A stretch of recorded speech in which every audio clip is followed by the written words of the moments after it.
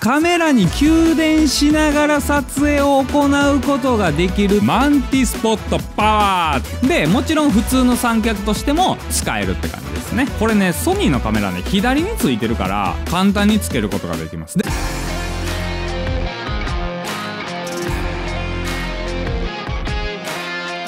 どうもミリオネアのウィディです。僕たち映像制作とか音楽制作に特化したことを日々 YouTube に上げてるんですけれども今回はですねちょっと革命的じゃないけど新時代が来た。ミニ三脚に新時代が来たということで今回紹介したいのがですねこちらでございます。こちら最近出たやつですね。 MantisPod Power ということで。パワーって感じですね。よろしくお願いします。はいそんな感じで MantisPod Power が出ましたよ。で僕あのこのねミニ三脚シリーズ結構紹介してきてるんですけどこの PGY デックのミニ三脚結構人気なんですね。安定感であったりとか利便性であったりとか細かいところまで気利いてるっていうのでかなり人気の製品になるんですがそれの最新版ですね。実はミラーレスやってる方からするとあんまり馴染みないと思うんですよ。なんでかっつったらこれ僕が送ってもらってんのはインスタ360エディションってやつなんですね。でこの時点であごめんなさい。今ちょっと洗濯機回ってるんで今日もしかしたらウィーンっていう音入ってるかもしれないですけどこのインスタ360エディションとあと GoPro かな？GoPro エディションがあるのかな？確か。ではいここでミラーレスの方からしたら関係ありまへんって思ってスルーしてる方いると思うんですけど甘い。結構いろいろ調べてみてもインスタ360で使える GoPro で使えるみたいなアクションカメラで使えるえるみたいな打ち出し方なんですけど全然そんな範囲ではない。もっと多機能に及んでもっといろんなことができるということで今回はねミラーレスやってる方も大歓喜。この MantisPod Power 侮るなしかしミラーレスでも使えるんだぜっていうところでもうあのアクションカメラこういうね Insta360だけじゃなくてですね Vlog カム僕買ったんですけどこの Vlog カムでも使えるんですよ。だからぜひともカメラやってる方もこれ最後まで見てぜひとも検討してほしい。でこの MantisPod Power に関して何が一体パワーなんだと。お前が言うそのパワーを見してくれよっていうことでこちらですね。これなんかねビヨーンってついてるんですよ。でねこれビヨーンってついてるんですが見えるかな？タイプ C になってるんですね。でこのタイプ C になってるということはですよ。このミニ三脚の中にリチウム式の内蔵バッテリーがついててそこからカメラに給電しながら撮影を行うことができるというあらまあ紙ミニ三脚ということになっております。これはね僕は欲しかった。絶対にインスタ360以外でも使えるやんってもう見た瞬間から思ってた。でもどこ見てもアクションカメラで使うのに便利とかアクションカメラを使ってレビュー動画しか出てこなかったからじゃあ実際に僕がいろんなもの試してみようということで今回試してみた結果ですね全然アクションカメラ以外でも使えるやんってなったので本当にさっきも言った重複してる。多分同じこと2回言ってると思うけどアクションカメラ持ってない人もこのマンティスポットパワーマジで狙い目やと思います。で、このマンティスポットパワーなんですけれども、入力が 5V で 2.4A、12W ですね。で、タイプ C インターフェースの入力です。で、出力に関しては 5V の 2.0A ですね。こちら 10W ですね。タイプ C インターフェースになりますね。なので、もしかしたら、ちょっと、まあ、昨今のいわゆる PD 給電充電とかあのパワーデリバリーと言われるものにはちょっとかなわないかもしれないですがそれでも充電しながら使えるという三脚ってありなんていうところになってきますよね。それがありになったのがこのミニ三脚です。しかもね、まあ、PGY テックおなじみなんですが取り外し可能のこういうねあのリモコン Bluetooth リモコンついてます。でこれに関してはねインスタ360とかまあインスタ360シリーズのアクションカメラと互換性があるのでさすがにねちょっとこの僕が最近買った ZV-10-2 と Bluetooth 接続ができなかったもののアクションカメラ使ってる方に関しては遠隔でねこのリモコン使って撮影することができるしなんやったらちょうど親指が来るところにこのリモコンをさせるのでなので自撮りしながらこういう風にピッてね撮影することができますっていう話ですね。であらかじめちょっとねこのレビューを進めていく前に注意じゃないけどだけ一応しときたいというか別に悪い点とかそういう話ではなくあのねこのミニ三脚って要はリチウムバッテリーを積んでるんですね。公式ではね一応ね 5000mAh のリチウムバッテリーを内蔵したミニ三脚になります。なのでどういうことかと言いますとですね今ちょうどこれ撮ってんのが夏8月で出てんのも8月やと思うんですがまあ今まだ言っても暑い時期でここから残暑が厳しいと言われる季節になります。なので一応このミニ三脚に関しては例えば車の中に長時間放置であったりとかはちょっと僕はおすすめしません。普通の今までのミニ三脚やったら車で置いててもまあまあ熱なっとるわぐらいでね済んだかもしれないですが一応中にバッテリーが積んでありますのでリチウムバッテリーっていうのはねやっぱりこう出力とかね安定してちっちゃい電池でですごくこういろんなものに給電できるっていうメリットがあるんですがその一方で扱い方を間違えるとまあ例えば爆発のリスクがあったりであったりとかまあよほどのことがない限りはよほどあのすごい扱いをしない限りはそうはならないんですが一応注意喚起で僕もこうレビューで進める側の身として言っておきたいのは車の中に放置とかっていうところはなるだけ避けていただきたいなと思ってます。でそれに対してなんですけど実はこのミニバッテリーなんですが BM BMS というねシステムを搭載してます。これ BMS って何かっつったらバッテリーマネジメントシステムっていうのを搭載してます。で要は過充電であったりとか過放電であったりとかまあそういったまあ中のリチウムバッテリーが誤動作を起こさないようにですね低温高温保護であったりとかそういったねものを PGY テックがねちゃんと施してくれてます。ちゃんとそういう企画がありまして BMS っていうねバッテリーマネジメントシステム。そういう企画に基づいたバッテリーになるのでかなり安全なバッテリーにはなると思いますが一応事前にこちらだけお伝えさせていただきたいと思っております。というわけでこのまま行くんですがやっぱりまずはこのねインスタ360とかにねつけれるっていうわけなんですよ。でねロック式になってるからロック解除ロック式でね簡単にカチャッと安定してねつけることができます。ちなみにどうでもいいことはないんですが僕ねインスタ360普段ね外のハードケースじゃないけど守るケースも PGY テック。はい PGY テックラバー。でタイプ C で給電できるんで要はこのね本体のタイプ C に挿すとですねこんな感じで充電が開始されるって感じですね。なのでこれはねすごい便利っすよね。言ったらあのやっぱりねこういうアクションカメラとかバッテリーとか交換するのめんどくさい時にこの三脚にとりあえずつけとけば給電しながら使えるってことです。で本体はね使ってると多少あっ熱い熱いというかぬるくはなってくるけど熱持たれへんみたいなことはまあないです。なのでそこは安心してください。でもちろん普通の三脚としても使えるって感じですね。こんな感じですね。こんな感じで立てて使える。かつ今までやったミニ三脚に立てて例えば自撮りでなんかこうコンテンツなりなんなりこう Vlog なりこうやってわーって撮ってたものがこれを使うことによってですね給電しながらやってくれるのでなので例えば一回カメラ止めてですねでそれでちょっと休憩してお昼ご飯食べてる間も充電してくれるっていうまあメリットがあります。でこの充電に関してはなんですけれどもおおよそ一応ね公式に言われてんのは1時間の充電で25時間動と言われてます。ただおそらく使うものによって変わってくるとは思うのでまああくまで参考値として知っていただけるのがいいかなと思ってます。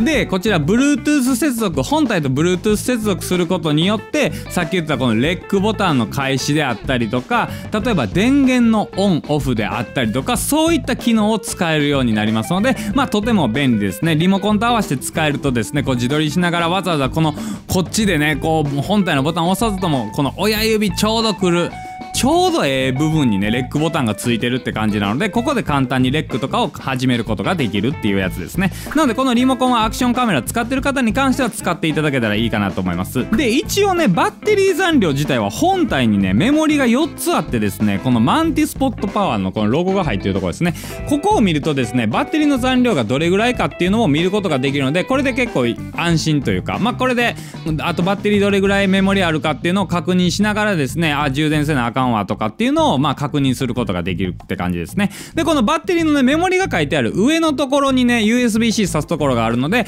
本体をね充電する場合はここに C を挿して充電してあげるっていう感じですね。充電の間隔はねかなり早い。すぐマックスになったっていう印象でしたね。やっぱりまあ公式で言ってる1時間ぐらいがまあ妥当じゃないかなと。まだねフルでね使い切ったことないんですよ。僕も結構外に持ち出して最近使ってるんですがそれでも全然大丈夫な感じですね。で360度パンとあと嬉しいのがこれはねちょっとカメラの時に説明するんですがこのね Vlog カムとかこういうねミラーレス使う時に説明するんですが360度パンとあとね35度チルトが可能になるのでなので縦型動画とかもこれでね撮ることができます。昨今やっぱ TikTok であったりとかまあそういったも流行ってるじゃないですか。なのでそういう方に関しては基本的ににこの縦型が取れるっていうのはすごい安心材料になるかなと思います。で、こっからですよ。ここまではね、インスタ360の話ですよ。ただね、インスタ360なんて元々割と便利なんですよ。こういうね、もう自撮り棒みたいなのもついてるから、改めてもしかしたらこの、このね、充電できるっていうメリット以外で、うーん、買うかなって思ってる方もいると思うんですが、問題はこっから。はい、ちょっと底面プレートをね、この僕が今使いまくってるですね、ZV-10-2 につけたんですけど、これね、もちろん ZV-10 でつきます。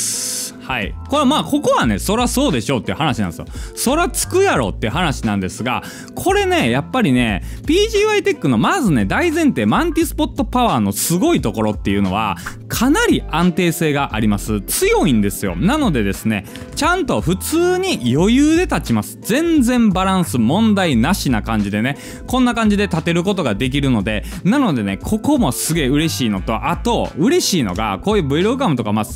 まあ、カメラによるかかなと思うんですが、まあ大体ソニーのカメラいけんちゃうかな。これね、こっち側から出てるんですよ。このね。ビヨーンっていうタイプ C のやつ。これは場所変えれないんで。なんすけど、これね、ソニーのカメラね、左についてるから、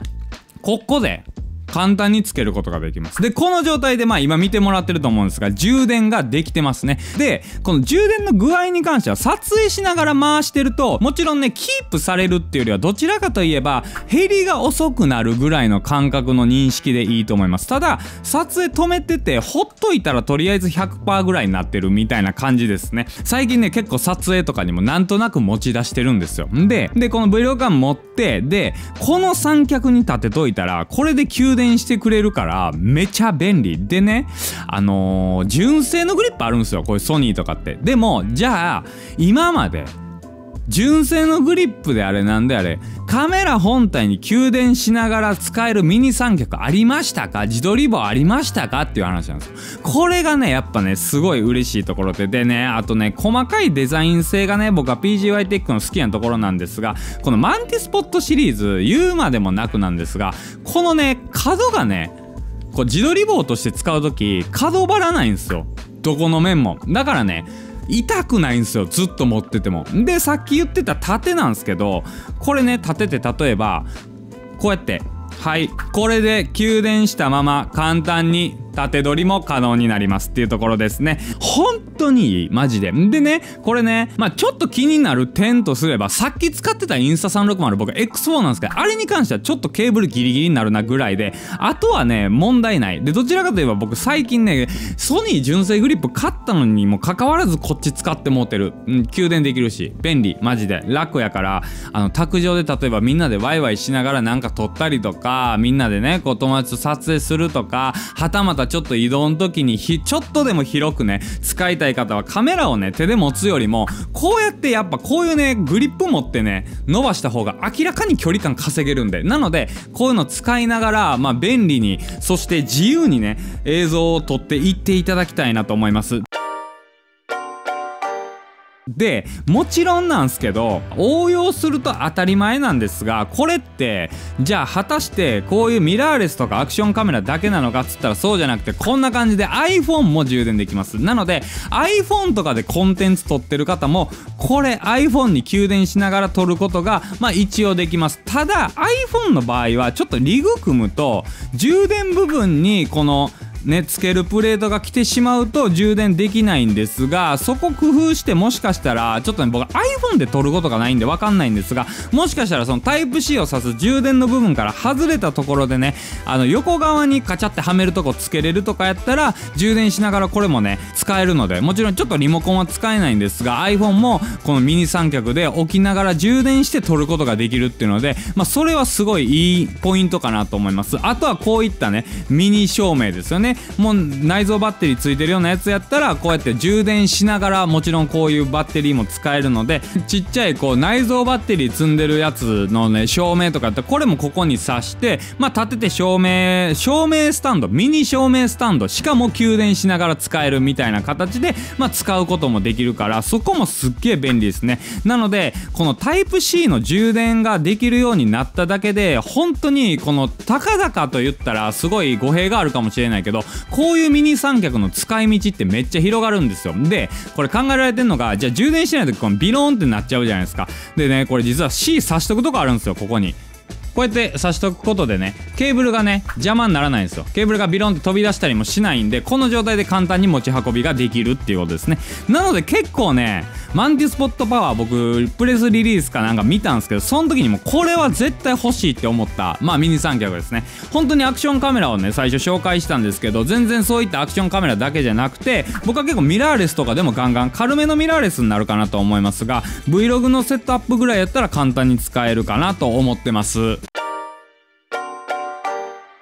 はいというわけでまあかなり喋ってきましたがいかがでしたでしょうか？iPhone であれアクションカムであれそしてこういったミラーレスであれね皆さん Vlog カムであれ何でもね割とねタイプ C 給電でめちゃくちゃ PD 充電でずごっつ早いとか、ね、モバイルバッテリー感覚で使えるとはまた話は変わってくるんですがバッテリーの消費を少しでも抑えながら1日長く撮りたい方にはねぜひこの PGY テックのマンティスポットパワーをねおすすめします。で概要欄にリンク貼っておきますのでぜひともねこちら気になった方はチェックしていただけたら嬉しいと思います。というわけでミリオネンで映像制作とか音楽制作に特化したことを日々 YouTube に上げているんですけども今目指せ10万人ということでめっちゃ頑張って動画投稿しておりますのでこの動画が良かったなって思う方は高評価コメントそしてチャンネル登録していただけると大変嬉しく思っております。というわけでまた次の動画でお会いしましょう。ありがとうございました。